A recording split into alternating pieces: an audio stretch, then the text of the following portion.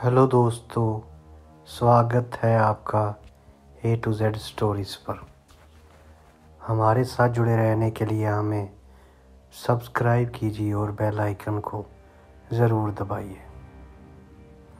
आज हम आपको भगवान शिव जी महाराज जी की एक कथा सुनाने जा रहे हैं। प्रजापति महर्षि कश्यप की कई पत्नियाँ थी। उनमें से एक नाम दनु था। दनु की संतान दानव कहलाई, राक्षस कहलाई। उसी दनु के बड़े पुत्र का नाम दंभ था। दंभ बहुत ही सदाचारी और धार्मिक प्रवृत्ति का था। अन्य दानवों की भांति उनमें ना तो ईर्षा ही थी और ना ही देवताओं से विद्वेश भावना। वे विष्णु का भक्त था और उन्हीं की आराधना किया करता था। लेकिन उसे एक ही चिंता सताती रहती थी कि उसके कोई पुत्र ना था। आचार्य शुक्र ने उसे श्री कृष्ण मंत्र की दीक्षा दी। धम्म ने दीक्षा पाकर पुष्कर में महान अनुष्ठान किया। अनुष्ठान सफल हुआ, तप किया, तपस्या की। उसके अनुष्ठान से प्रसन्न होकर, उसकी तपस्या से प्रसन्न होकर भगवान विष्णु जी प्रकट होकर बोले, वत्स, मैं तुम्हारे अनुष्ठान से प्रसन्न हूँ, वर मांगो। दम्भ बोला, भगवान, यदि आप मेरी तपस्या से प्रसन्न हैं तो मुझे ऐसा पुत्र दें जो आपका भक्त हो। और त्रिलोक जयी मतलब त्रिलोक में विजय हो उसे देवता भी युद्ध में ना जीत सके। सारी सृष्टि में, तीनों लोकों में का वो विजय हो। उसे कोई भी हरा ना पाए। भगवान विष्णु जी ने तथास्तु कहा और अंतर ध्यान हो गए। रू पोष हो गए। और दम्भ प्रसन्नचित अपने घर लौट आया। गोकुल में श्री राधा ने श्री कृष्ण पार्षद श्री धामा को असुर होने का शाप दिया था। शाप मिलने पर वही दम्भ की पत्नी के गर्भ में आया। जन्म होने के पश्चात दम्भ ने अपने उस पुत्र का नाम शंखचूड़ रखा था। जब वे कुछ बड़ा हुआ तो दम्भ ने उसे मुनि जैगी शिव की देख रेख में रख दिया। मुनि जैगी शिव ने उसे शिक्षा दीक्षा दी। अपनी कुमार अवस्था में ही शंखचूर पुष्कर में पहुँचा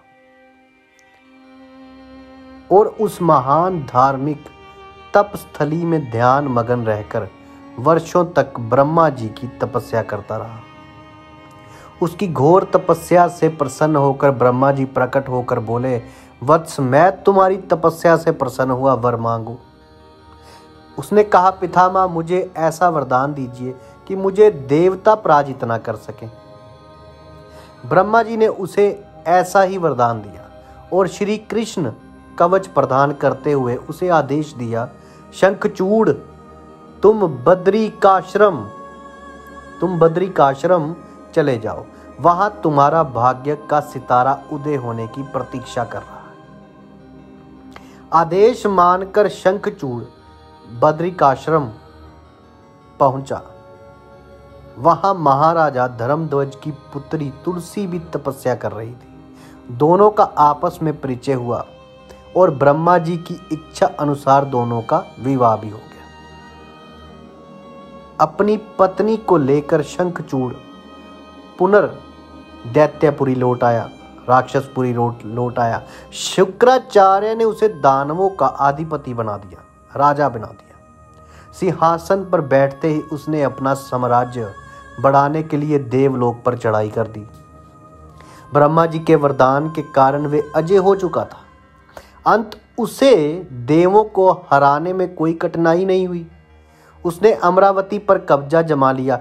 इंद्र अमरावती छोड़कर भाग निकले। देवता उसके डर से कंधराओं में जा छुपे। शंखचूड़ तीनों लोगों का शासक हो गया और सब लोकपालों का कार्य भी उसने संभाल लिया। उसने अपनी प्रजा की भलाई के लिए अनेक कार्य किए। प्रजा उससे बहुत खुश थी, प्रसन्न थी, सर्वत्र सुख और शांति थी। क्योंकि शंखचूड़ स्वयं भी कृष्ण भक्त था अंत उसकी प्रजा भी भगवान कृष्ण पर पूरी आस्था रखने लगी। उसके राज्य से अधर्म का नाश हो गया। प्रजा इंद्र और देवताओं को भूलने लगी। इससे देवताओं को बहुत शोभ हुआ। जलने लगे वो। इंद्र पितामह ब्रह्मा के पास पहुंचकर बोले, पितामह, आपने शंकरचूड़ को अबे होने का वरदान देकर उसे निरंकुश बना दिया है। वे अमरावती पर कब्जा जमाए बैठा है। देवता दर दर की ठोकरें खा रहे हैं। हमें बताइए हम क्या करें? तो ब्रह्मदेव बोले, सुरेंद्र शंख चूड़ धार्मिक और रीति से अपना शासन चला रहा है। प्रजा उससे प्रसन्न है। उसके राज्य में प्रजा सुखी और संपन्न है। हमें उससे कोई शिकायत नहीं है। इंद्र बोला, ये सब तो ठीक है। लेकिन क्या हम यूँ ही भटकते रहेंगे? आखिर अमरावती है तो देवताओं की ही। ब्रह्मा जी बोले, अवश्य है, किंतु शंखचूड़ ने तुम्हें युद्ध में पराजित करके उसे प्राप्त किया है। उसने तुम्हारी प्रजा को भी कोई कष्ट नहीं पहुँचाया है। सिर्फ़ सिंहासनों का ही फेरबदल हुआ है ना? इंद्र बोला, लेकिन प्रभु, हम आपकी संतानें हैं। क्या आप चाहेंगे कि आपकी संतानें यूँ ही दर बदर भटकती रहे, कुछ उपाय कीजिए। ब्रह्मदेव बोले, मैं इसमें कुछ नहीं कर सकता देवेंद्र। जब तक शंखचूड़ के भाग्य में अमरावती का ऐश्वर्य भोगना है, वे भोगेगा। तुम भगवान विष्णु जी के पास चले जाओ। वे अवश्य कोई ना कोई उपाय तुम्हें सुझा देंगे। वहाँ से निराश होकर इंद्र भगवान श्री विष्णु जी के पास पहुँचा और उनकी स्तुति करके बोला, भगवान, प्रभु, देवता इस समय भारी संकट में। ब्रह्मा जी ने अपनी असमर्थता ज़ाहिर करके मुझे आपके पास भेज दिया। है उन्होंने कहा है कि मैं इसमें तुम्हारी कोई मदद नहीं कर सकता। कुछ कीजिए प्रभु, अन्यथा संपूर्ण देव जाति ही नष्ट हो जाएगी। विष्णु जी बोले, ब्रह्मा जी का कहना ठीक है। मैं भी अकारण शंखचूड़ के संबंधों में हस्तक्षेप करना पसंद नहीं करता। उसकी सारी प्रजा कृष्ण भक्त है और कृष्ण मेरे ही प्रतिरूप है। मैं अपने भक्त पर कष्ट होते नहीं देख सकता, लेकिन निराश होने की आवश्यकता नहीं। तुम भगवान शिवजी भोलेनाथ जी के पास चले जाओ और उन्हीं से कोई उपाय पूछो। वे अवश्य तुम्हारे कष्ट का निवारण कर देंगे। महादेव, मस्तों के मस्त। विष्णु जी की बात सुनकर इंद्र निराश भाव से वैकुंठ से निकल आया। अंत में वे भगवान शिवजी महाराज जी के पास कैलाश पर्वत में जाकर शिवलोक पहुँचा और भगवान शिवजी महाराज जी को दंडवत सलाम करके, माथा टेक कर शिव स्तुति करके अपने आने का प्रयोजन बताया। भगवान शिव ने उसकी बात सुनी और उसे आश्वस्त किया। धैर्य रखो, सब्र रखो। तुम्हारा सिंहासन तुम्हें अवश्य प्राप्त होगा। मैं गंधर्व राज चित्रर्थ को अभी दूत बनाकर शंखचूड़ के पास रवाना करता और मैं यहाँ एक बात कहता हूँ कि जो भगवान शिव ने कहा है ना, उसको कोई भी पलट नहीं सकता। तो शिवजी महाराज जी के आदेश अनुसार गंधर्व राज चित्रार्थ शंखचूड़ की राजधानी पहुँचा। उस समय शंखचूड़ अपने सिंहासन पर विराजमान था। चित्रार्थ ने उसका अभिवादन करने के पश्चात अपने आने का कारण बताया। उसने कहा, दैत्यराज, मैं गंधर्व राज चित्रार्थ हूँ और भगवान भोलेनाथ महादेव शिव जी का एक संदेश लेकर आपके पास आया ये सुनकर शंखचूड़ के चेहरे पर आश्चर्य झलक आया। शिव के दूत को सामने पाकर वे सिंहासन से उठकर बोला मेरा अहोभाग्य है कि भगवान शिव जी महाराज जी ने मुझे किसी योग्य समझा। आप संदेश सुनाइए। क्या संदेश भेजा है भगवान रुद्र ने? गंधर्व राज बोला, दैत्यराज, भगवान शिव जी महाराज जी का संदेश है कि तुम देवताओं का राज्य उन्हें वापस लौटा दो और उनकी अधिकार उन्हें दे दो। भगवान शिव ने देवों को अबे होने का वचन दिया है। शंखचूड़ बोला गंधर्वराज, भगवान शिव से मेरा प्रणाम कहना और उनसे कह देना कि शंखचूड़ के हृदय में आपके लिए बहुत ही ज़्यादा श्रद्धा है। परंतु यदि उन्होंने इंद्र के बहकावे में आकर मुझे दंडित करने का निश्चय किया तो मैं उनकी बात नहीं मानूँगा और उनसे भी युद्ध करने के लिए तैयार हो जाऊँगा। चित्रार्थ, वापस लौटा और उसने भगवान शंकर जी महाराज जी को शंखचूड़ का उत्तर सुनाया। यह सुनकर शिव जी क्रोधित हो गए और अपने गणों को युद्ध का आदेश दे दिया। उधर शंखचूड़ ने अपने पुत्र का अभिषेक कर उसे दानवाधिपति बना दिया और अपनी पत्नी से बोला, मैंने युद्ध स्वीकार कर लिया है देवी। ईश्वर करे, युद्ध में हमारी विजय हो। अब मुझे अनुमति दो। मेरी सेनाएँ तैयार हैं। शंखचूड़ अपनी सेनाएँ लेकर युद्ध भूमि में जा पहुँचा। दोनों सेनाएँ गोमत्रक पर्वत के समीप एक दूसरे के आमने सामने आ खड़ी हुई। अब भगवान शिव जी ने शंखचूड़ के पास एक बार फिर संदेश भेजा कि वे नादानी ना करें और युद्ध से दूर रहकर उनकी बात मान ले। किंतु शंखचूड़ ना माना और दोनों सेनाओं में घंघोर युद्ध छिड़ गया। भगवान शिव और शंखचूड़ आमने सामने डट गए। दोनों में अनेक अस्त्र शस्त्रों से युद्ध होने लगा। फिर भगवान शिव ने शंखचूड़ का वध करने के लिए त्रिशूल उठाया तो आकाशवाणी हुई कि देवादि देव महादेव, आप प्रलंकर हैं सर्व समर्थ हैं, किंतु आपको मर्यादा की रक्षा करनी चाहिए। श्रुति की मर्यादा को नष्ट ना करें। जब तक शंखचूड़ के पास हरि का कवच है, श्री कृष्ण का कवच है और जब तक उसकी पति पतिव्रता पत्नी मौजूद है, तब तक उस पर बुढ़ापा नहीं आ सकता और ना ही उसकी मृत्यु हो सकती है। आकाशवाणी के खत्म होते ही शिवजी महाराज जी का त्रिशूल अपने आप रुक गया। तभी भगवान विष्णु प्रकट हुए। शिव बोले, भगवान, आपने तो मुझे बड़े धर्म संकट में डाल दिया है। आप ही ने तो इंद्र को मेरे पास भेजा। और जब मैंने उसे अबे करने के लिए युद्ध आरंभ किया तो अब आप ही कवच आड़े आ रहे हैं। आप ही का कवच आगे आ रहा है। अब आप ही कोई बताइए कि मैं क्या करूँ?